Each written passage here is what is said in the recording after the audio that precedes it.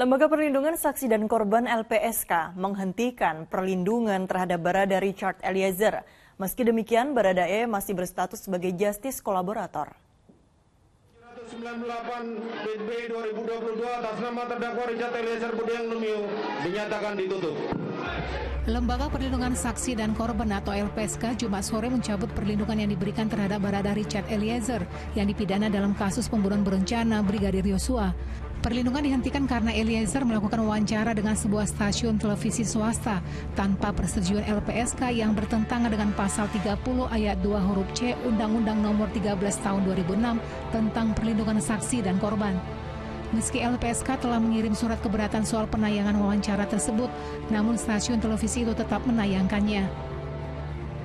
Hubungan atau komunikasi pihak lain dengan saudara RE untuk melakukan wawancara yang akan ditayangkan dalam program salah satu stasiun TV tanpa persetujuan LPSK. Maka hal tersebut telah bertentangan dengan pasal 30 ayat 2 huruf C Undang-Undang Nomor 13 Tahun 2006 tentang perlindungan saksi dan korban. Setelah perjanjian perlindungan dan pernyataan kesediaan yang telah ditandatangani oleh saudara RE.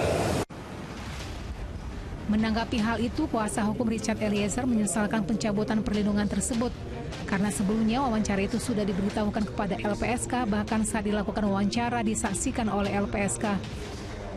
Terkait dengan perjanjian sudah dijelaskan harus sepengetahuan atau sepersetujuan dari LPSK. Nah di sini kan kita sudah sampaikan bahwa sudah sepengetahuan dan sudah dikirimkan surat gitu. Sepengetahuan kan saya sudah konfirmasi via telepon juga. Padahal interview tersebut ada disaksikan oleh LPSK, didampingi oleh LPSK. Di acara tersebut ada juga Pak?